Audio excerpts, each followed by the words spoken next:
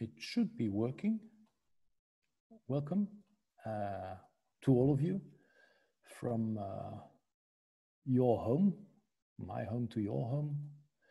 This is uh, the webinar on uh, the Grand Place, the grand place to be, the title of uh, the temporary exhibition. Still taking place in uh, La Maison du Roi. Have magnificent aerial view of the Grand Place of Brussels and uh, the City Hall on one side, and on the other side, of course, uh, La Maison du Roi, or het Broodhuis, as uh, we call it in Flemish. Uh, my name is Dirk. I'm Dirk van Roy. I'm a guide in uh, La Maison du Roi. And first of all, before starting, I have to thank uh, people who are assisting me and that's uh, Eleonore Duchesne and uh, Rémi Foulon. So if anything goes wrong, you have to blame them. I'll try not to do too many stupid things. Anyway, you can ask questions. You should have somewhere Q and A on your screen where you can um, ask all questions you want. I will try to answer to these questions at the end of the webinar, which will last approximately 45 minutes. And then we have some 15 minutes to answer, I have 15 minutes to answer to your question. So I'd say, let's go and let's go to La Maison du Roi, uh, the building, as I mentioned, uh, which is the one to the left. I'll get my little pointer, laser pointer, voila, there it is. So this is, this building actually is the youngest building on the square, the oldest building being this beautiful building, the city hall of, uh, of course, of Brussels, Grand Place, and all the houses around is, uh, of course, uh, not a very young place. It's a very old lady, as we could call, we should call it. And it was um, uh, UNESCO, UNESCO in, uh, two, in 1998. And uh, to commemorate the 20th anniversary of this uh, fact, we had this exhibition, or we still have this exhibition in La Maison du Roi. Um, you should go into the building. This today is the first uh, Sunday of the month, the first Sunday of uh, August, which means that uh, entrance is free. So you don't have to pay an entrance ticket. And moreover, you have, uh, you receive a guided tour of the exhibition taking place right here. Um, I'd say let's go in and uh, let's try to go to uh, the exhibition. First of all, you came uh, on foot, of course. You arrived on the Grand Place, and uh, the seven streets leading you to the Grand Place, they all have this sign in the floor. It's the sign, of course, of the UNESCO heritage. Um, and that's, of course, because we're so proud that we are UNESCO heritage. But how did we get that far? Well, have a look at this. This is the maquette. You can find it on the first floor of the house of the La Maison du Roi. And of course, uh, it's a very old, the maquette is not that old, but it shows you the city in the 13th century. You have the river Senne right here. So you see my little pointer going over there. This is the river Senne. Right beside was a monastery, Franciscan friar monastery. Going up, this is the Marché aux Herbes, uh, Grasmarkt as we call it in Flemish. And the church you meet over here is St. Nicholas Church. Right beside was the market, Nedermarkt. So Nedermarkt means low market because it was close to the river. There was probably some markets uptown, higher markets. But this is the Nedermarkt, probably the first center, the first market we had. Right beside is the Belfry, already in the 13th century, we have this uh, stone building, belfry of the city. And when you go a little bit further, then you arrive over here, and that is what we called the Gemeenemarkt. The Gemeen, uh, it's not mean, it's uh, general, the general market. So everything was sold over there. And you notice that there are several houses around here. And that little house, you see little breads, there's a loaf of breads, that's the bread hall. Broodhuis, as we still call it in Flemish, because originally the bread was sold over there. Later in the 15th century, Duke constructs a house on that same spot, and the Duke becomes king, king of Spain, uh, in the 16th century. And that's uh, Charles, Charles V. And from that time on, the house is called Koningshuis. And later, when people start speaking French in the city, it will be, uh, or, or, it will become La Maison du Roi. Right behind it, this is a little, uh, well, pieces of meat. So that's the meat hall right there. And uh, the square in, uh, as I already mentioned it, of course. Let's go on, move on to the second floor of the Maison du Roi. And this is what you see in the middle of that beautiful room. Uh, it's uh, Archangel Michael, Saint Michael. We have placed him on top of the city hall in 1455. Well, we did not. Maarten van Rode, who made the sculpture, uh, it's uh, approximately five meters tall. And uh, well, it's very difficult to see it from down where we are in the middle of the square because uh, everything is in total 97 meters high. But uh, this is a beautiful 15th century knight with all the details you can see here uh, in his armor, his uh, sword, of course, here, and then uh, the devil, because uh, he's uh, killing the devil or evil. And that's what he does, of course. He protects the city against evil. And that's why he's the saint patron of the city of Brussels. Oops, going to the 17th century, 1648. In the middle, you have Philip IV, King of Spain, and also our king.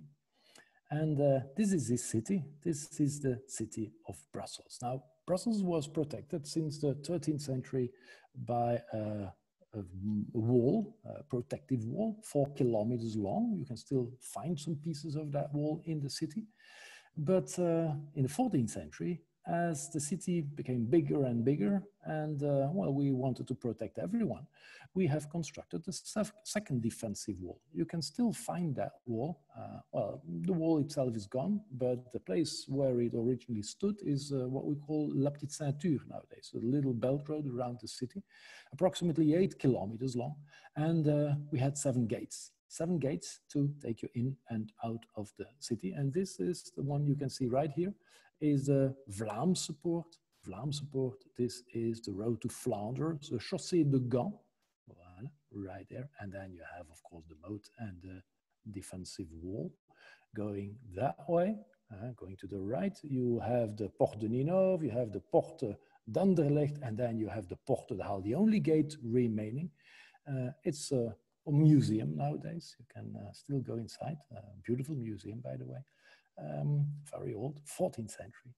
Uh, continuing that way, you have, that's where Avenue Louise is, where the Palace of Justice is situated. Uh, continuing, you arrive, uh, well, right behind is the Porte de Namur, gate leading you to Namur. Going down, you arrive on the Place Royale, the Koudenberg, as it's called, the cold mountain. And on the cold mountain, on top of the cold mountain, there was a palace, the palace of, of course, Charles V, uh, the dukes, eventually Charles V. Cathedral being right there. But we are here. This is St. Michael, and this is the City Hall. 1615, uh, fantastic date. At that moment, we have uh, a governess, and she's called Isabella, Infante Isabella. Her father is Philip II, King of Spain. Uh, grandfather is Charles, Charles V, and she resides in the city of Brussels to rule over us. And uh, as she wants to show her brother, the King of Spain, that she's doing very well and that the city is thriving, um, this is the Ommegang. The Ommegang is still taking place uh, every year. Normally, it should have taken place this year as well. Uh, we should have had uh, more than 1,400 people on the square, dressed uh, exactly like these people over here. But uh, we will have to come back next year to see the beautiful show. Uh, but this is the Grand Place, as you can see, of course, people parading. It's a great parade, of course. Archers, arquebusiers, people with uh, guns, shotguns over there. Uh, and then the saint patrons, uh, you have Saint George over here and the dragon, the dragon and the princess of Trebizond, the uh, Saint Christopher over there. You also have Saint Michael came down from the spire of the city hall. And then uh, you have Saint Gudula, Saint Gudula right here. Uh, you see that the devil is trying to put out her, her candle. What is interesting for us, of course, is not only the, the beautiful show, but it's also the houses on the square. This is the bread hall. So actually, right now we are here in this spot. The show is uh, over there.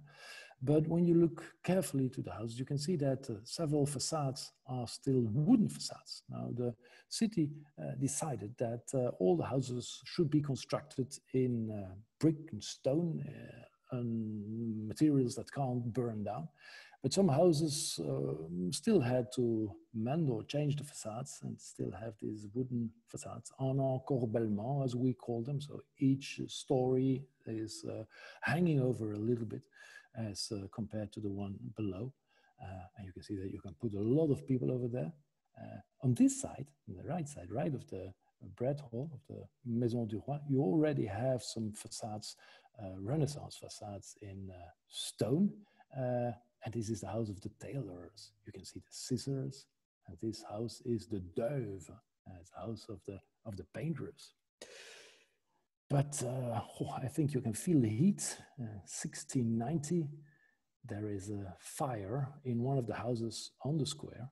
Um, and it's uh, the wolf, the house, the wolf, and that's the house of the archers, uh, is burning. And you see the people taking water from the fountain over here, right in front of La Maison du Roi. So we're still here.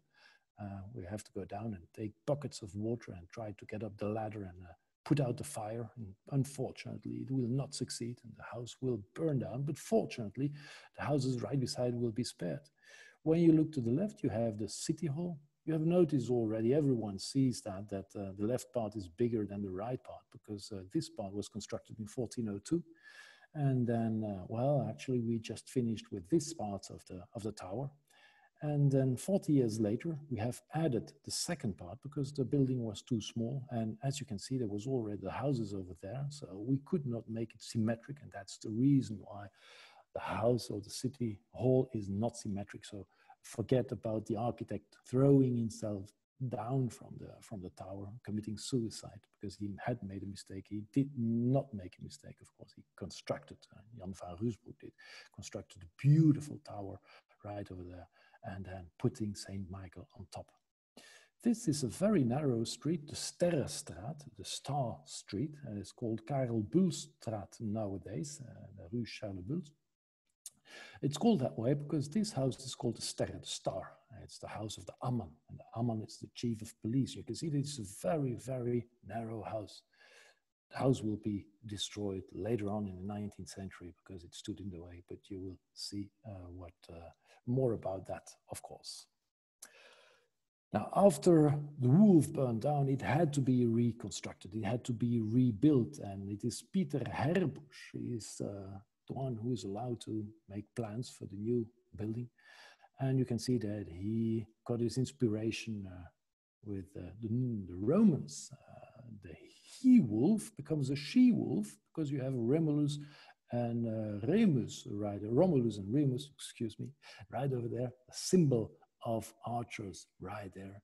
Four Roman emperors right there, and Apollo with his uh, arrow and his bow, uh, killing the snake and on top of that beautiful building, you have uh, the phoenix rising up from the ashes. Uh, and that's what happened because the house was reconstructed in 1691. But then, pada, we are uh, on the 13th, the 14th, and the 15th of August, 1695. Disaster happens to the city of Brussels because the city is attacked. Uh, Maréchal de Villeroy, who was uh, not really the best uh, general uh, the French ever had. They had uh, perhaps some worse, but they had much better than this one. But uh, he was leader of the army of Louis XIV, Louis XIV, and Louis wanted to prove that he was superior, and so he had the city of Brussels bombed, bombardment, and they shot. you can see that flying bombs. So there was metal cannonballs. Uh, they were heated so warm, they were uh, burning hot, and they were shot from uh, the height of Anderlecht, Scheut, That was where they stood, and shooting at the city, and the, the city uh, burned down. Well, big part of the city burned down. Uh, this house is uh, the only house that was remaining. From the beginning, we had three stone houses on the square, and this is the Serhuiskind uh, stain. So, and that's still in its original form. It will be a little later on, it will be transformed. And then you have the original belfry right beside St. Nicholas Church. You can see that uh, it's very hot where we are, right there. So the king's house is also burning. And the city hall itself is also burning, but fortunately the spire was not touched, so it remained. The outside walls remain, but inside uh, everything burned down. So tapestries, um, paintings, Rubens paintings, uh, Van der Weyden, they all burned down, and, and the memory of the city was, uh, of course, uh, taken away. So this is what the city looks like after the bombardment. Uh, Augustin Coppens is, uh, well, he's an inhabitant of Brussels. Uh, his house as well was uh, destroyed.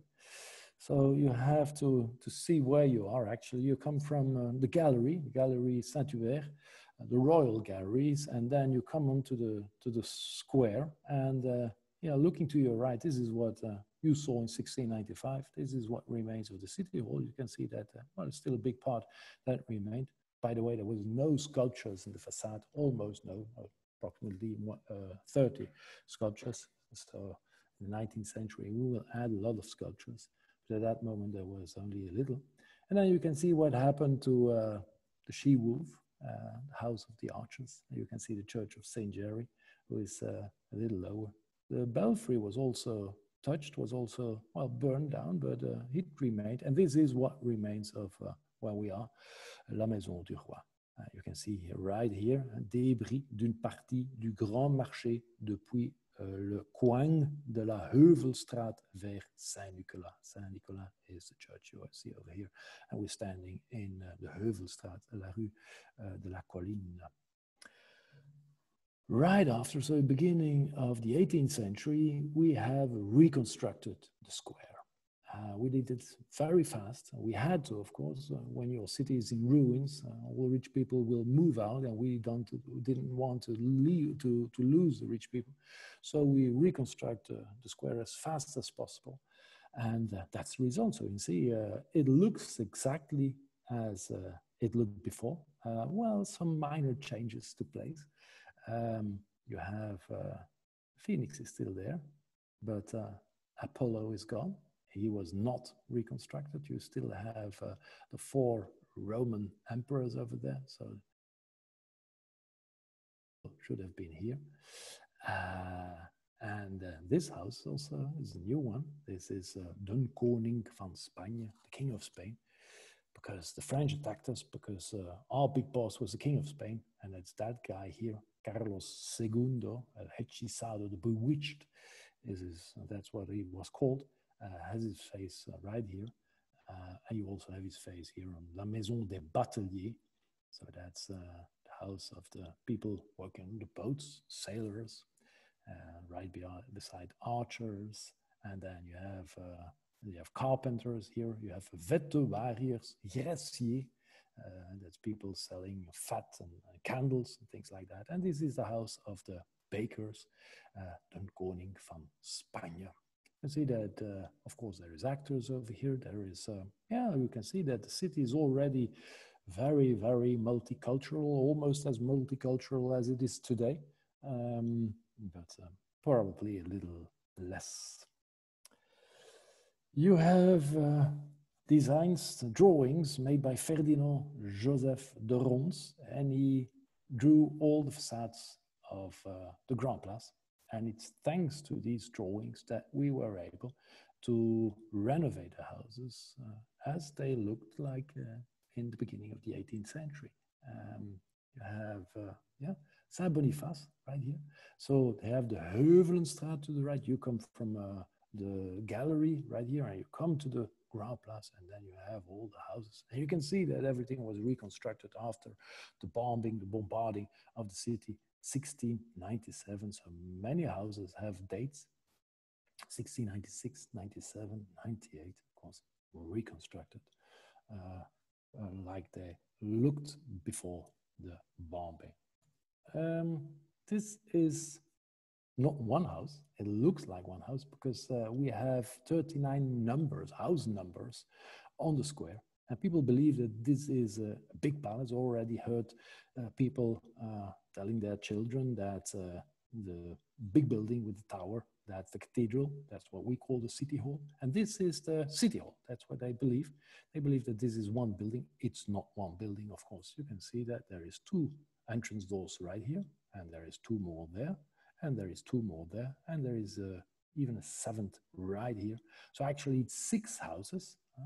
You have one house, and then there is a second house, and then a third house, and you have six houses, but behind one facade, because uh, the person who ruled over us, uh, Maximilian II, Emmanuel of Bayern, he wanted a modern capital looking in this modern style, just like this. But uh, this is something we do not like. If we have a, a, house looking mm, like like that, and the neighbor, our neighbor, will probably construct something completely different. And it, when it's the same, he will paint it completely different, of course, because we do not like to have the same house as our neighbors.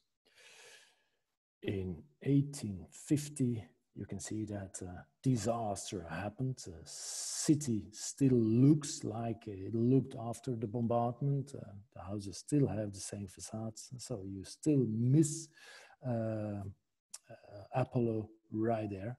But uh, what you absolutely miss is uh, something looking good because you can see the scaffolding right here holding the spire of the city hall because everything is falling down so absolutely something had to be done. And fortunately, we will have a mayor uh, called Karel Buls, Charles Buls, a little later, and he will try to save the city. Well, he will be able to save a big part of the city, an old part of the city. He was not able to save everything because the king at that moment was Leopold II, uh, not in 1850, we speak uh, in 1865 that was. And Leopold II wanted a modern capital and not one with a stinking river uh, in the middle, and, then the river was taken away because it uh, looked and it smelled like an open sewer. So all the houses over there were destroyed, were taken down, and that's why you have the pedestrian zone nowadays. And uh, he also wanted to, well, something like a, a new square, but uh, Karel Buls was able to save it. And we had to do something, of course. You could not leave it like this. You still have the Sterrenstraat here. You can see a very, very narrow passage. And you can see that uh, all of a sudden the passage, it's not very visible, but you have to imagine right there is a big passage because you can see the cocher over there. So you can see a horseman uh, sitting on a carriage coming from that street, which is much wider than it uh, used to be. Because the thing is that we have a south station and a north station, Gare du Midi and Gare du Nord. And uh, when you arrive in the South Station, you want to go to North Station, as there was no subway like in Paris, uh, you had to get off the train and walk to the other side of the city or take a carriage. And uh, you passed on the square right there, but that was a bottleneck. So the House Sterre was destroyed, and the result is a huge gap. It looked horrible. But anyway, what you can see is that the houses were renovated and the city hall itself is also renovated. So it looks beautiful again. Fortunately, it looks beautiful again. It had to look beautiful again. It's a big painting, actually. It's almost four meters tall, and it's also to be seen uh, in the show on the second floor of uh, La Maison du Roi. La Maison du Roi, this is where we are, but this is not the house we're in right now. This is uh, the old one, that was the one that was reconstructed after 1695, and it was reconstructed the same way it looked before. But uh, towards uh, the end of the 19th century, it was so worn out that uh, renovating was apparently not possible. So the house was uh, unfortunately destroyed, and a brand new one appeared, and that's the one where we are in.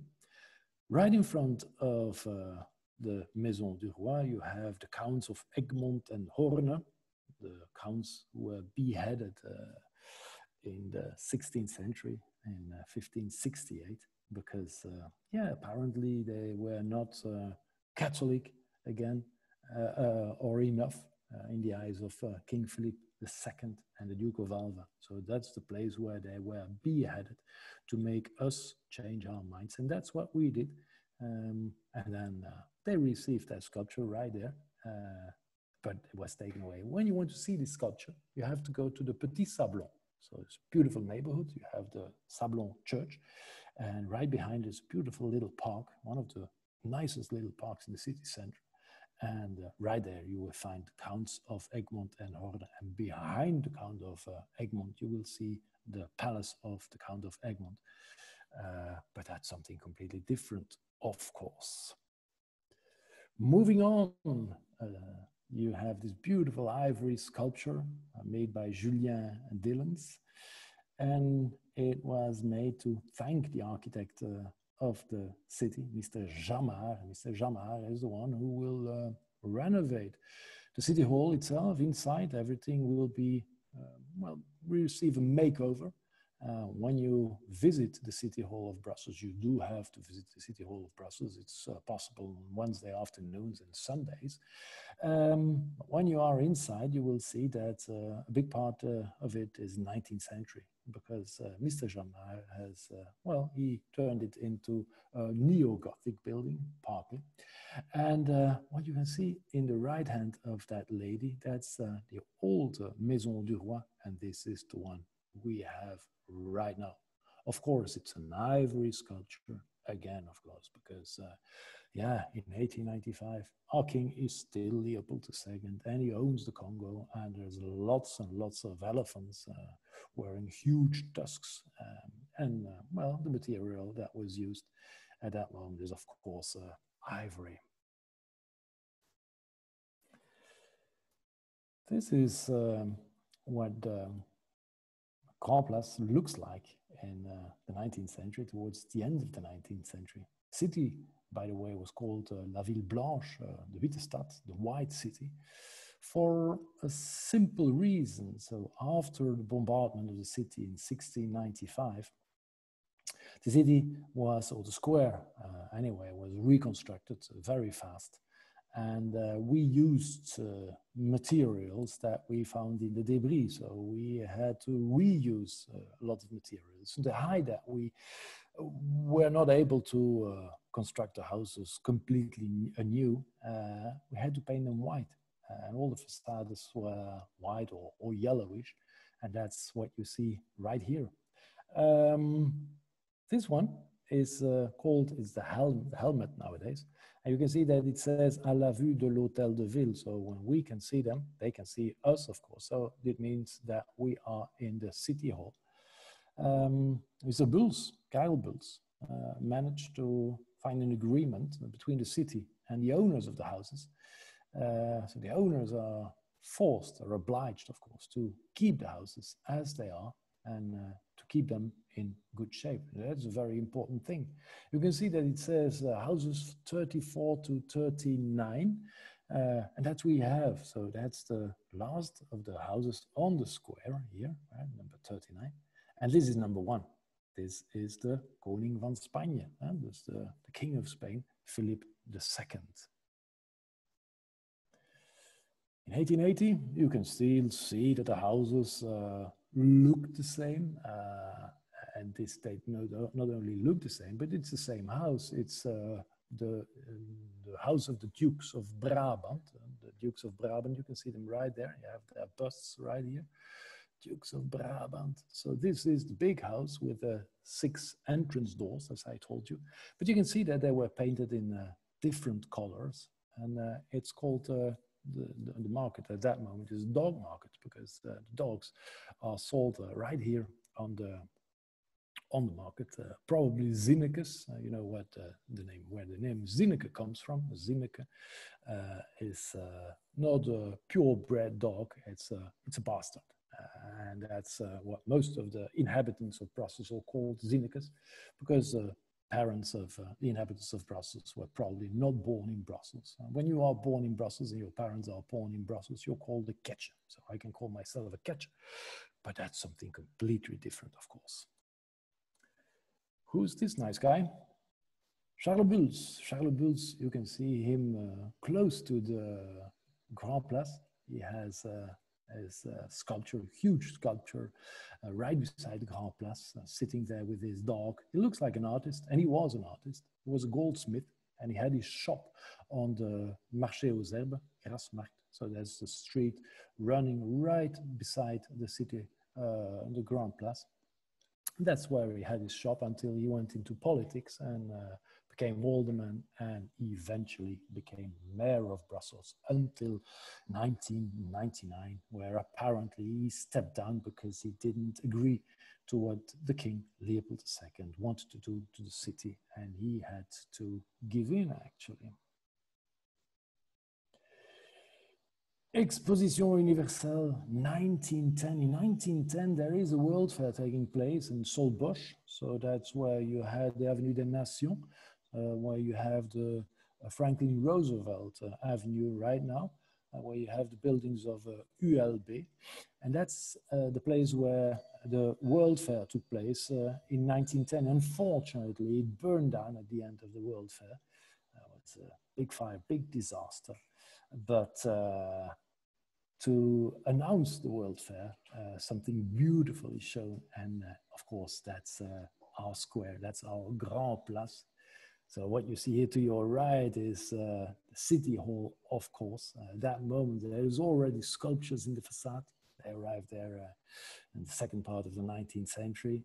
And then you have a reconstruction of it. That is very, very difficult to see, but you have to go on the square, of course. This is the idea of this, uh, of this uh, show, of this webinar. You will have to go yourself to the, to the Grand Place and look at all the houses. And you will notice that the house right there, the star, is not the original star anymore, but it's the house that's constructed on pillars.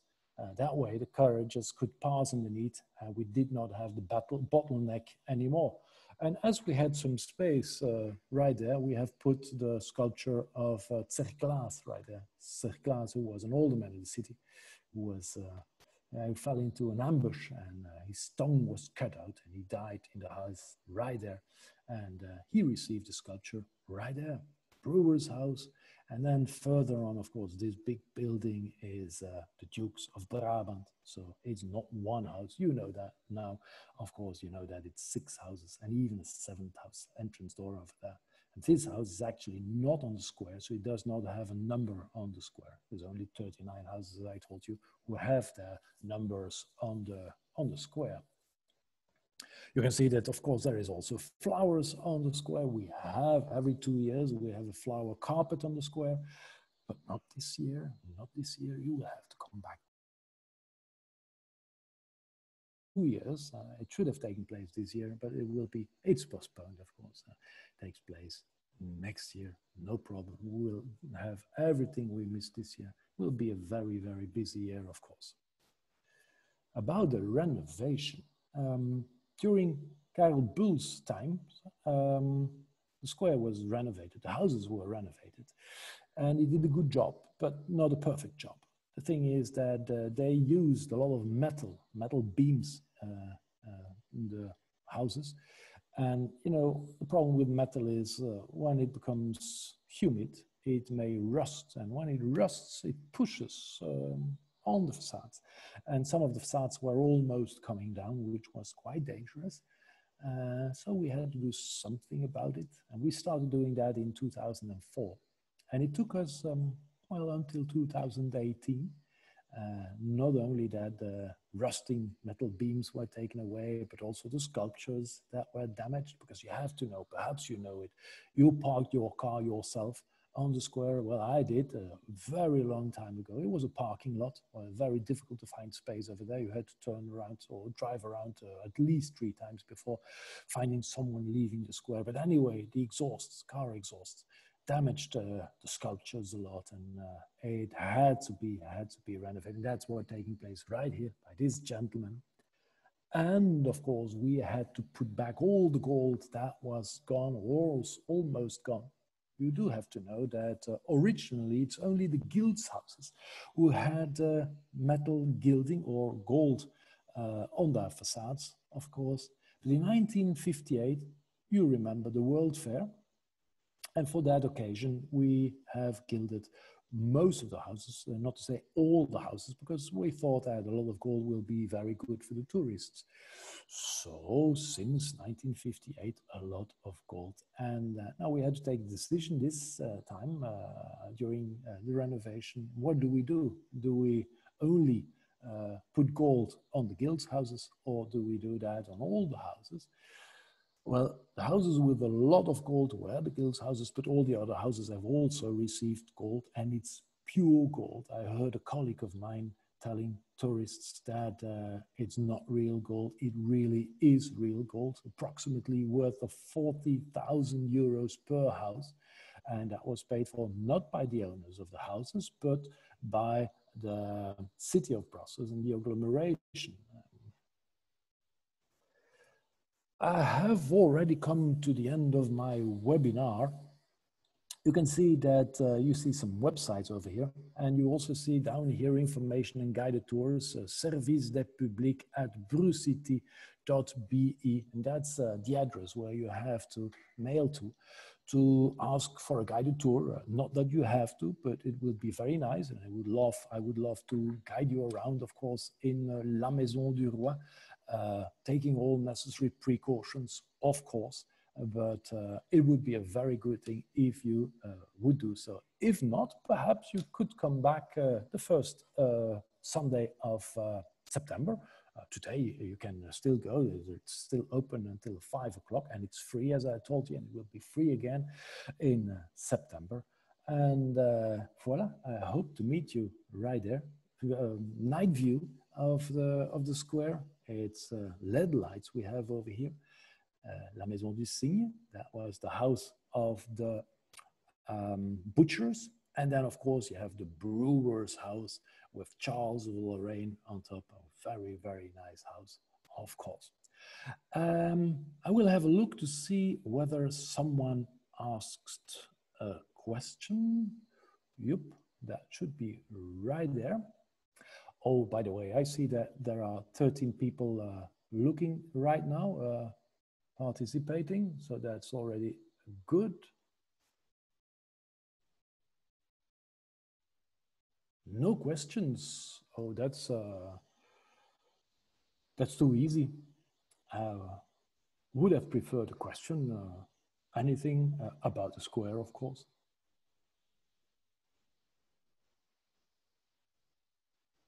No. Well, if not, I can't force you to ask a question. Uh, I would say thank you for, for now, and uh, hopefully uh, I will see you in the Maison du Roi or on the square or somewhere in uh, the city of Brussels. Um,